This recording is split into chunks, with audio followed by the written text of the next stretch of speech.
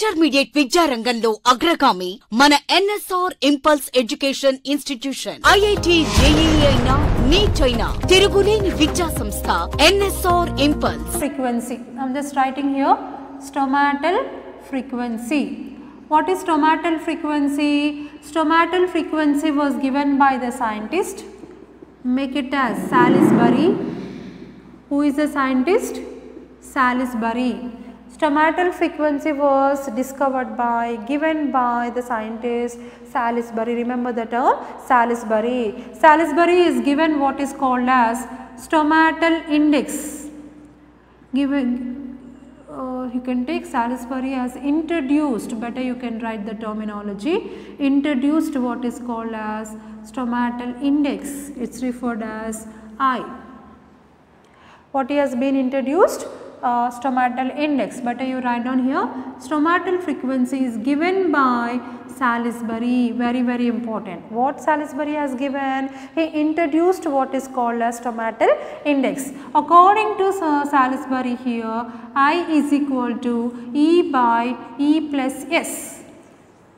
Okay? Oh sorry. This is s you make it. Sorry. S by e plus s. S is equal to we can take number of stomata and here e is nothing but on epidermal cells but you write down number of stomata on epidermal cells or you can also take this as number of epidermal cells which are present per unit surface area which are present for unit surface area.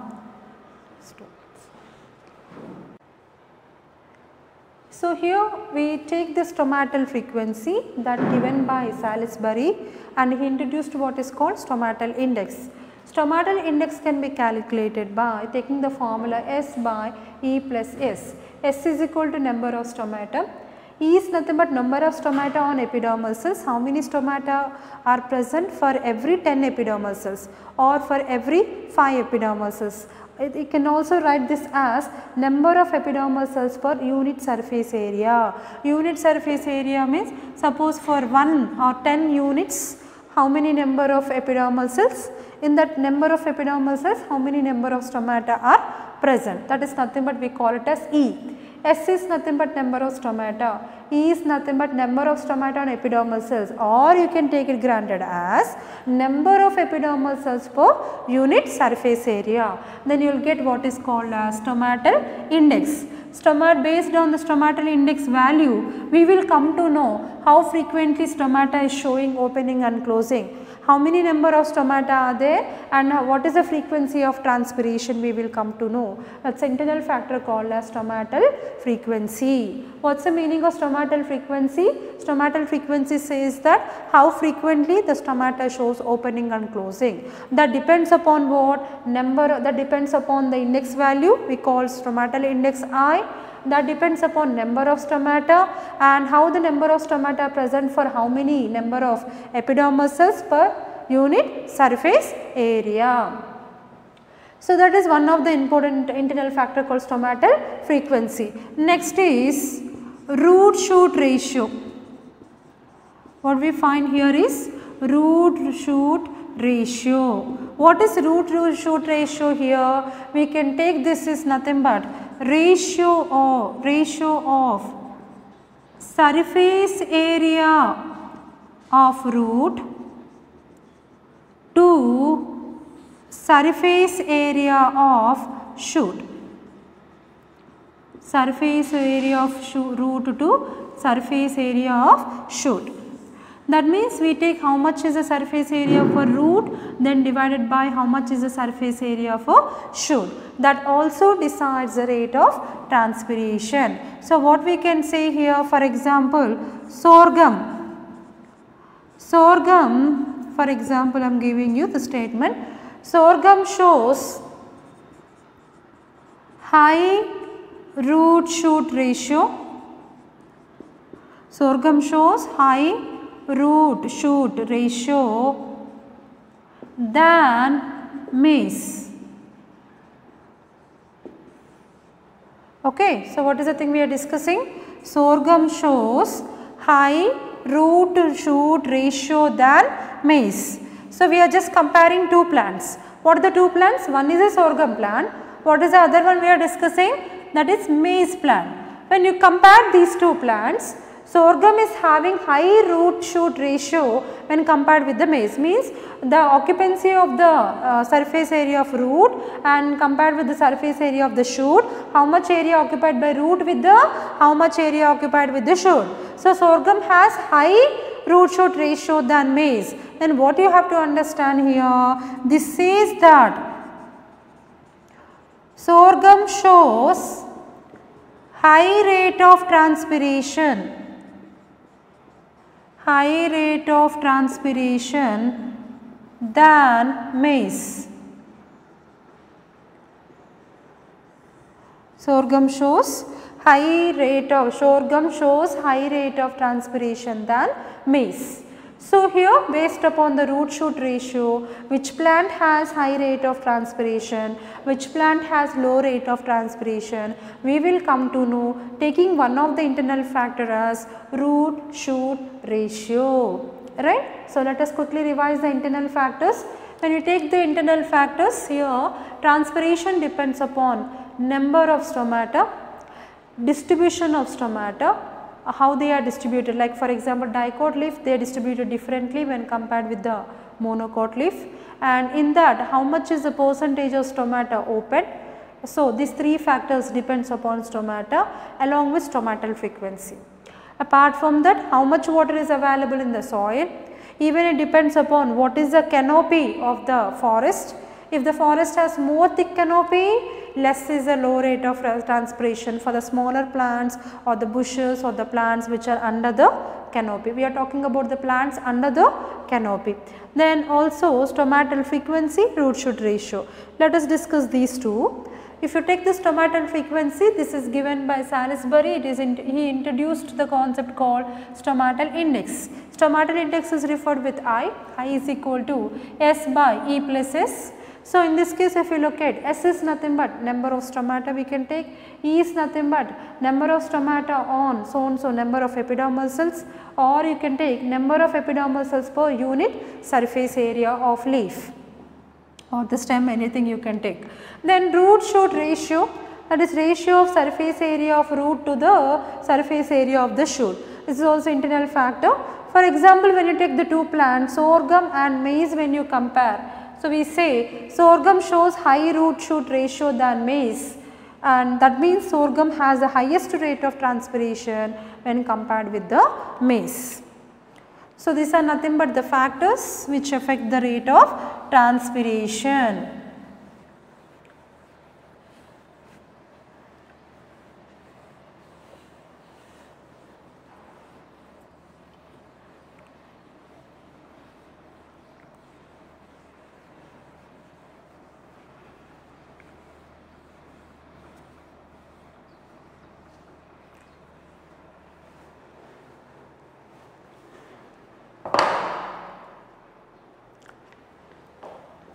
So, let us talk about phloem transport.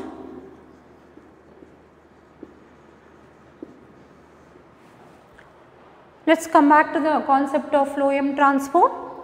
Now, what we discussed for the last classes phloem transport, it can be studied by mass flow or we say bulk flow hypothesis given by the scientist Ernest Munch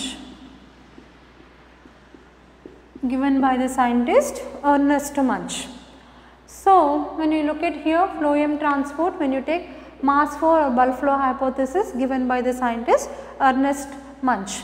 Guys very very important now let us concentrate and concentrate completely on the board so that you can understand the concept. The concept is very very important. So, we are discussing what is called phloem transport. So, previously we studied about osmometer you remember funnel A, funnel B You remember one is considered as a phloem, other one is considered as a xylem. The same concept, osmometer experiment concept. Now we are trying to uh, put the same concept to understand how phloem transport is taking place within the plant. Now let, uh, let me give the clear diagram here, so you can concentrate. Now if you take, let us take this is nothing but leaf. So we are discussing here about the phloem. In phloem mainly sieve tube element, mainly phloem has all four components which is the main food conducting channel in the phloem means we can take sieve tube element. Guys all of you know phloem has four components. What are they? Sieve tube elements, sieve tube elements, companion cells, phloem fibers and phloem parenchyma. The four components are there. So, mainly the food translocation occurs by sieve tube elements. So, when you take this is a leaf part, this, this is a vein, the vein contains vascular bundles. In vascular bundle we are talking about the food transport in the phloem. We are talking about transport of food in the phloem. Now, so here the leaf here I take it as a source. So, here leaf acting as a source. Now, from the leaf it is coming to the stem. From the leaf it is coming to the stem. Let us take this as a wider arrow mark. Let us take this is a stem part. This is stem part. Okay, this is stem. This is totally stem. Why we are taking this is totally stem? Because this is xylem let us take and let us take this is as phloem. So, in the in the stem we find this is nothing but the huge plant let us take this is nothing but the stem. So, in stem we are taking this is xylem let us take this is phloem right. So, when you take here especially in the phloem when you see you know you find this is a phloem let me write here it is nothing but sieve tube element in the phloem this is nothing but a sieve tube element. Just beside the, this is sieve tube element, this is sieve tube element. Just beside the sieve tube element, then you find what is called as a companion cells. In anatomy of first year you discussed right, what you study here a companion cells. So, here you know companion cells. So, we have previous NEET question if you remember companion cells are nucleated you have to remember companion cells are nucleated, they contain nucleus. What about sieve tube element? Sieve tube element are enucleated. Sieve tube elements are enucleated. Guys from anatomy we have the previous NEET question on sieve tube elements. Anatomy you remember what we discussed? Sieve tube element. So in the sieve tube element what is a very important thing we have to remember? What is the important thing we need to recollect it? In sieve tube element they are enucleated. Enucleated means the nucleus is absent. Very very very important. You remember in anatomy right. So, sieve tube element is enucleated. So, just beside the sieve tube element what you find is companion cells. What you find is companion cells, but companion cells are nucleated. So, let us take this is a companion cell, this is a companion cell right. So, this is a companion cell. So, when you take the companion cells, companion cells are nucleated, they contain nucleus. Let us recollect back what the statement you studied in anatomy. Companion cells helps to create pressure gradient in sieve tube element which causes upward direction of movement of food. You remember in anatomy what you studied? Companion cells are nucleated, sieve tube elements are enucleated, companion cells helps to create pressure gradient to push the food in upward direction. That means within the phloem, so going up is very easy. So, we are discussing when you take the plant, if you take the leaf, so here down one more leaf is there. Upward movement of food is we studied in terms of translocation that happens along with the xylem. But what is difficult to understand is how food is coming downward direction. How food is coming in downward direction. So, we are discussing about downward directional movement of food. Of course, upward means from the lower base of the leaf, food is going in upward direction along with the xylem, along with the xylem it is going up because transpiration pull is pulling the food and water. So, upward direction we already understood by the concept called transpiration pull. Then the question arises, phloem is bidirectional in phloem it is bidirectional that means upward movement is taking place, downward movement is also taking place. Upward movement means it is because of transpiration pull. Okay. Then how downward movement happening in the phloem? Because it is bidirectional. So, you have to study what is called downward directional movement of the food within the phloem. We are discussing what? Downward direction. Okay. So, here if you take So, here if you take in this case, now this is the stem part, sieve tube element, companion cells. Now from the stem, so this is nothing but the stem. From the stem going to what? Going to let us take root. So here root acting as a sink.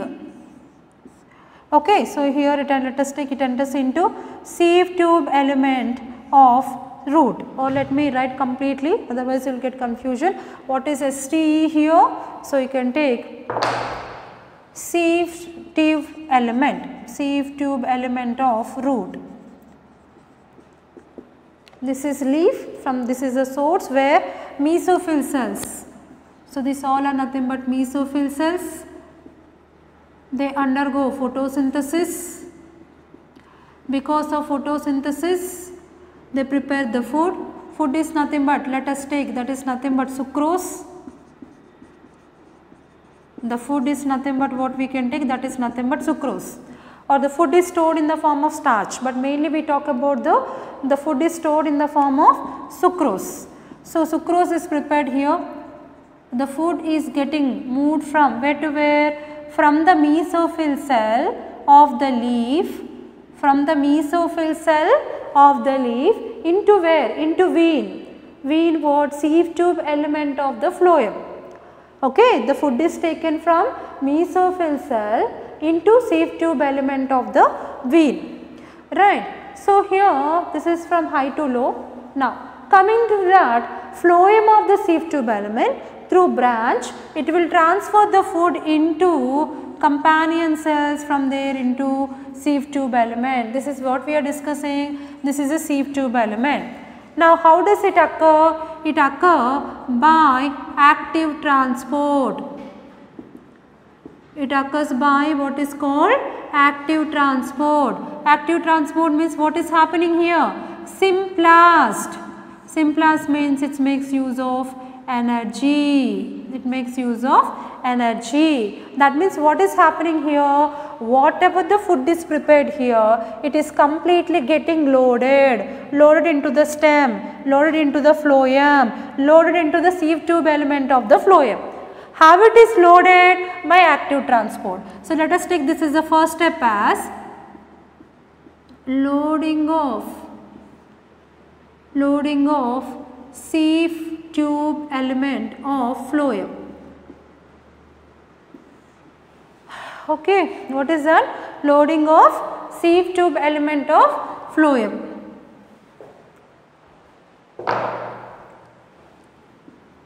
Loading of food material or loading of sieve tube element of phloem.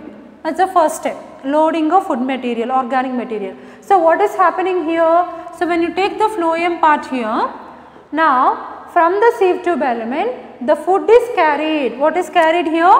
food is carried and enters into where? First it enters into what? Companion cells. First it enters into what? Companion cells. From the companion cells, let me give the arrow like this. First it enters into companion cells. From the companion cell, enters into a sieve tube element of the phloem by diffusion. You can take here. This is by diffusion. It enters into companion cells. From the companion cells into sieve tube element, it enters by the process called diffusion. But generally guys the question will be asked that uh, loading of sieve tube element of phloem means mostly this is most frequently asked question you have to remember this as active transport. You have to remember this as what? Active transport. But whenever the question is from companion cells into sieve tube elements then only you have to choose the option as diffusion. Generally what the question is given? Loading of sieve tube elements from the leaf into the stem, into the stem means into the sieve tube element of the phloem means you have to take active transport only. Active transport means from where to where? From low concentration to high concentration occurs by symplast direct cell to cell through plasmodesmata that needs what is called energy. Right. Now, everything come into what? This is sieve tube element. This is sieve tube elements. Now, what is here? This is nothing but sucrose.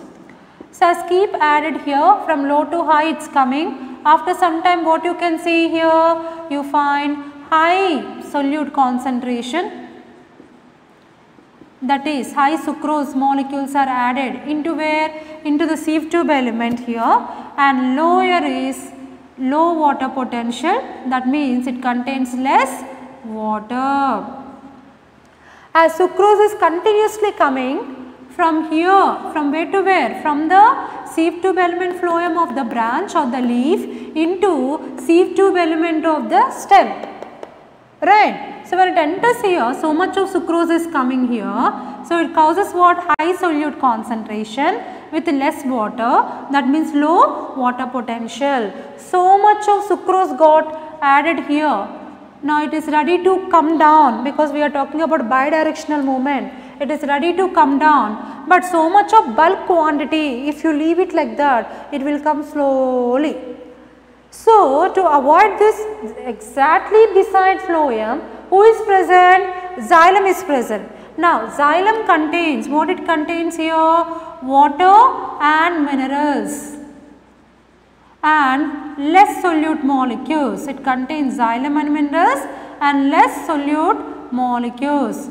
But it shows as it contains more water and inorganic minerals, it shows higher water potential. Why?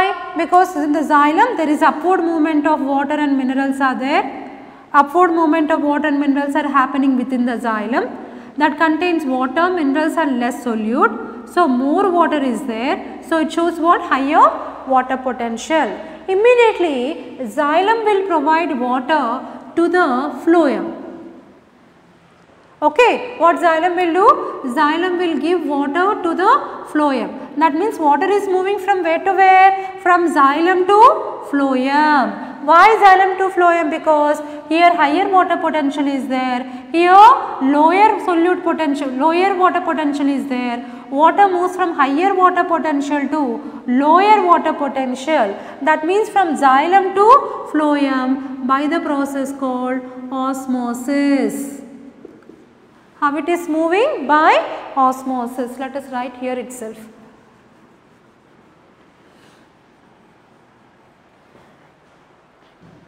How it is moving means by osmosis.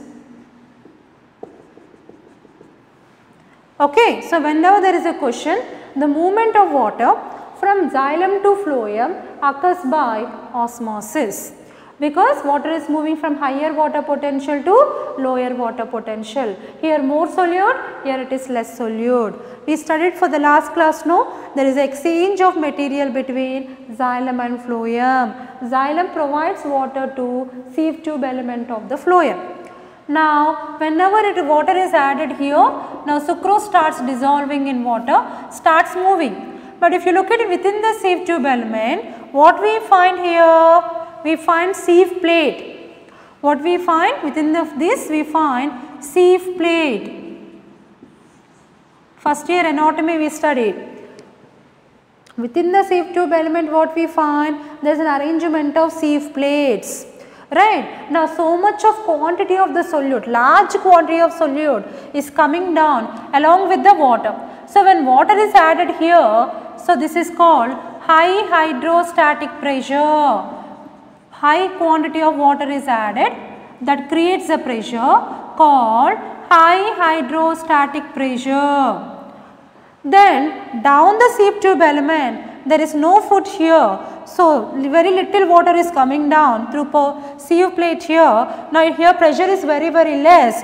So, this we call this is a region with low hydrostatic pressure. Here you find low hydrostatic pressure. Much quantity of water is added to this. When more quantity of water is added, that dissolves the sucrose here. So much of pressure is applied by water. So it creates what is called high hydrostatic pressure. At the tip of the sieve tube element you find high hydrostatic pressure. At the base of the sieve tube element you find a low hydrostatic pressure. So when sucrose got dissolved into this, you know it contained sieve areas. Sieve plate contain what? Sieve areas. Did you remember? It contains sieve areas. So through sieve areas, the sucrose which got dissolved in water, it will be coming down. So what is coming down? It's nothing but large quantity of sucrose. That's why the flow is called as bulk flow or itself is called as mass flow or itself is called as en masse. Right, what is moving here? Large quantity of sucrose molecules or high concentration of solute moving down from where to where? From high hydrostatic pressure here to the region with low hydrostatic pressure through sieve plates having what are called sieve areas. Right. So, water is bringing down large quantities moving that is why it is called bulk flow or it is called mass flow or en masse. Now, we talk about within the sieve tube element how the movement is happening within the sieve tube element here what is happening it is called passive transport or this is also called as apoplast very very important. I hope everything is uniform but still try to uh, just uh, thought, of, thought of writing with a different marker but it is not available. See the things which are important. Osmosis here what happens is diffusion mainly from here to here what happens is active transport. But whenever the question is within the sieve tube element when food is moving from high hydrostatic region to low hydrostatic region within the sieve tube element remember it is passive transport or itself is called apoplast. Passive transport or itself is called as what? Apoplast. So slowly it is coming down. Through sieve pores or through sieve areas it is coming down. Now much quantity of sucrose when it reaches bulk flow when it reaches down then what happens? From here to here again it enters into a sieve tube element of phloem. And through phloem it enters into what? Root. It enters into root. And that is again by active transport. This is again by active transport. So what do you call this? This is called as unloading of food. This is called unloading of food. First one is called loading of food or loading of sieve tube element. This is called unloading means totally whatever the food is added here sucrose or the food now it is through branch or through from the stem enters into root. That is why root is acting as a sink root is receiving the food. Uh, when from the stem, from the sieve tube element of the phloem of the stem to the sieve tube element of the root, how it is moving? By active transport. So, this is called unloading of food. First one is called loading of food and this is called unloading of food. So, entering inside is active transport that is loading. Going out is also by active transport. In between whatever are find are with the different processes. So, when it is going out also at a time it will not go. What it will do? Again it enters into companion cells. Same process by diffusion then into active transport and sieve tube element of the phloem in root. So, here also you can write sieve tube element of the phloem. Right. So, some water along with the sucrose goes out. When sucrose is removed here, then what is left here? Water is left. Sucrose is removed, I am writing here sucrose, sucrose is removed. Then what is remaining here? Water is remaining. When water is more, it creates what? Higher water potential. What it creates? Higher water potential. Water is already taken up. What is there here? Less water. It creates what? Lower water potential because here less water because water is continuously taken up. At the base you find less water. Lower water potential. Here from the water, so some amount of water is taking the sucrose to the root. More water is settled at the bottom of the sieve tube element. So here you find more water. More water means higher water potential. So again from the phloem, water moves from higher water potential to lower water potential that is again by osmosis. That means from where to where the movement is happening? From the phloem to xylem. The movement again water is coming back.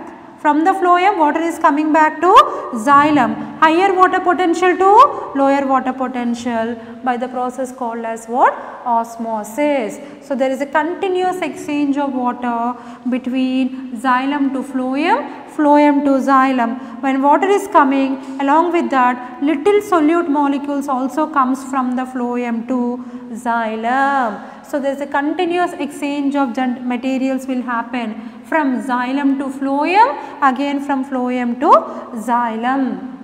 Okay, this is what we call it as phloem transport very very very important. So, mainly what are the things we have to take into consideration in this case here? So, here if you look at when you talk here phloem transport, when you talk here phloem transport, so, phloem transport it occurs by what is called mass flow or itself is so phloem transport by mass flow or bulk flow hypothesis was studied and given by the scientist Ernest Munch. Who has given this? By Ernest Munch. So, when you take this here Ernest Munch. Now, what are the things we are taking into consideration here? Here we take this is nothing but leaf. So, we have taken this is nothing but leaf. Guys everything was written with the blue marker everything is blue but I will just keep the star marks where you need to concentrate more. So, concentrate here. So, when you take the leaf, leaf is containing mesophyll cells. Mesophyll cells they prepare their own food materials by the process called as photosynthesis. By photosynthesis what happens? Sucrose will get accumulated within the mesophyll cells here so, sucrose will get accumulated here. Now, from the mesophyll cells, the food will enter into the vein. Vein contains what? Sieve tube element. From there food enters into what? Sieve tube element. Sieve tube element of phloem. Phloem has four components. Sieve tube elements, companion cells, phloem fibers, phloem parenchyma. But main food conducting channel is what? Sieve tube element. So, when you take the sieve tube element, remember here also what occurs here is nothing but mesophyll cell to this. From here, from the vein of the leaf enters into branch, from the branch enters into what? The stem part. So, when the movement is happening from the leaf to stem, this is called as what? Loading of sieve tube element of phloem or itself is called loading of food material. This is unloading but here mainly we are speaking what? So, this is what is called loading of food, loading of food material. What do we call this? This is called as loading of food material or also called loading of sieve tube element of phloem. Then when it is fully loaded here, what happens here look at leaf acting as a source and that contains sucrose food material who is moving means here sucrose is moving. Now how it is moving it from the sieve tube element of the phloem of the vein enters into a sieve tube element of the branch. How it is moving means very very very importantly remember this is by active transport. Active transport means this is by symplast Active transport means by symplast, one cell to other cell, direct movement with the help of energy that is by the process called as symplast. From here actually directly enters into sieve tube element. The question what comes here is loading of food from the sieve tube element of the leaf to sieve tube element of the stem means you have to take the answer as active transport. But actually if you look at the scenario first it enters into companion cells. You know the difference right? Companion cells are nucleated. So, you can I have drawn the nucleus here. Companion cells are nucleated, they contain nucleus. But sieve tube elements are enucleated meaning nucleus is absent. What is the previous NEET question? Even though the nucleus is absent, they are considered as a living cells. Uh, sieve tube element is a living cell because even though it is enucleated. So, companion cells helps to develop pressure gradient to sieve tube element for the translocation of food materials. So, first enters into companion cells. From the companion cells, food enters into sieve tube element by the process called diffusion. Okay? So, this is important. Whenever the question is specific in terms of companion cells and sieve tube element, companion cells and sieve tube element opt as diffusion. Mostly the question is the phloem sieve tube element of the vein or the branch into stem means into sieve tube element of the stem means you have to take the option as active transport only. When it says companion cell to sieve tube element then only you have to choose the option by diffusion. Then what happens here? More sucrose molecules are getting uh, here they get accumulated here all sucrose molecules they are getting uh, accumulated here that creates high solute concentration but with very very less amount of water that means lower water potential means very very less water is there. To bring it down that more solute concentration what phloem will do it will take the help from the xylem. Xylem is getting so much of water from the root. So, the, there is upward movement of water. So, if you take in that water is there, inorganic minerals is there, less solute concentration is there. When more water is there, it shows higher water potential. Just beside sieve tube element has lower water potential because it contains high solute concentration and less is of water. So, movement happens from where to where? From higher water potential to lower water potential. Water movement occurs from the xylem to phloem. So, here water movement occurs from the xylem to phloem. How it occurs? By the process called osmosis. Whenever question comes that movement of water from xylem to phloem means osmosis. From companion cells to sieve tube element means diffusion. From uh, leaf to stem means active transport. Make sure that very very important. Now, when water is added here, what happens? Sucrose start dissolving into the water as so much of water is added here, it's a region where it shows high hydrostatic pressure. So much of pressure is created by the movement of water. So, we call high hydrostatic pressure. If you look at the scenario down the region of sieve tube element, pressure is low, water is less. So, it is a region, a lower region contains low hydrostatic pressure. So, movement is happening from where to where? High hydrostatic region to low hydrostatic pressure region. So, what is moving here? Sucrose is moving along with the movement of water. So, within the sieve tube elements, here if you look at within the sieve tube elements, what you find this is nothing but sieve plate. This is called as what? Sieve plate. Sieve plate contains sieve areas. So, within the sieve areas, slowly the dissolved sucrose will come along with the water and passes downward direction. At a time, large quantity of the food is moving down here. Large quantity of sucrose is moving down here. That is why it is called as what?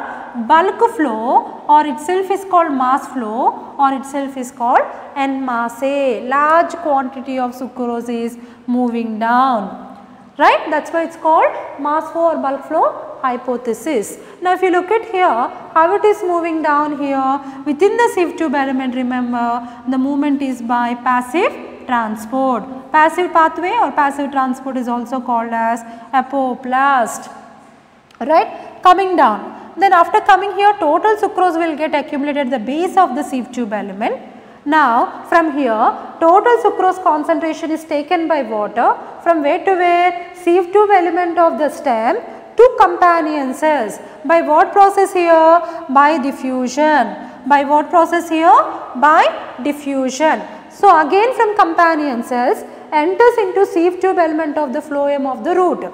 Now in this case leaf act as a source, root act as a sink, right. So from where to where movement is source to sink through stem. Now when so much of sucrose is dissolved into water here, uh, sucrose more concentration goes along with little water again by the process called active transport. Active transport means this is nothing but what? Symplast, very very important. Suppose in the options given options active transport is not given then you have to take the option as what? Symplast, right. So, from the stem sieve tube element enters into sieve tube element of the phloem into the root, root act as a sink here by active transport of symplast this is what is called unloading of food material. Food is totally going out, unloading of food material. Previous NEET question I will let you know. In the previous question they asked about loading of food material and unloading of food material occurs by remember active transport active transport very very important previous NEET question right. So, when so much of sucrose goes out here what little water goes out what is left here is nothing but water. So, more water accumulate down at the base of the sieve tube element that creates higher water potential and just beside that you find xylem. Xylem has a continuous upward movement of water, water keeps going up, very less water left at the base of the xylem. So, it creates what is called lower water potential. Now, within the sieve tube element as sucrose is removed, more water causes higher water potential. Within the xylem, water is lifted up, less water is there, it creates lower water potential. Movement happens from where to where? Higher water potential to lower water potential. So, water get translocated from the phloem to xylem by the process called osmosis. Guys remember from xylem to phloem is osmosis and while coming back again from phloem to xylem is also osmosis. Again water will be translocated but here water is coming from where? From phloem. That is why it added with the little solute molecules. We have a statement no. Xylem not only carries water and minerals but few solute molecules. Phloem not only carries the food sucrose, few water molecules. Why? What is the conclusion? Exchange of materials takes place between xylem to phloem, phloem to xylem. Osmosis again gives the water. So, here two things are very very important. One is loading of a phloem, one is unloading of phloem. Both occurs by active transport. Look at the uh, star marks here. This is active transport. Remember this is diffusion. This is by osmosis. Remember very very important this is by passive transport. This is by diffusion. This is by active transport. Again this is by osmosis are very very important. So, regarding loading of this, unloading of this we will continue with the next class, but most important one for the previous point of view Ernest Munch given is most widely universally accepted theory. How bidirectional downward direction of movement of phloem is happening means this is a theory got accepted. Remember very very important. See the translocations from leaf to stem to root. Leaf is acting as a source, root is acting as a sink source and sink are variable. That means leaf is not always source, root is not always sink. Both are variable. I will tell you, I will continue with the next part. At the time I will tell you leaf and root are variable. Leaf is not always source, root is not always sink. So, this is what is called downward directional transport. This explains that bidirectional movement of food materials. In this especially we are speaking about downward direction of food material.